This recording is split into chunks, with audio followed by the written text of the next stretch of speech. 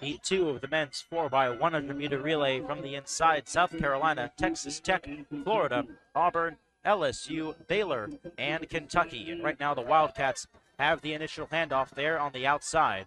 Here comes LSU and Baylor on the backstretch.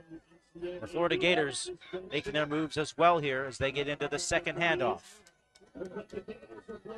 The Florida Gators getting ready here. Smith Band to hand it off to Robert Gregory. The Florida Gators out in front.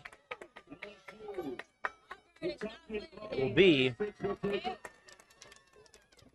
Auburn, LSU.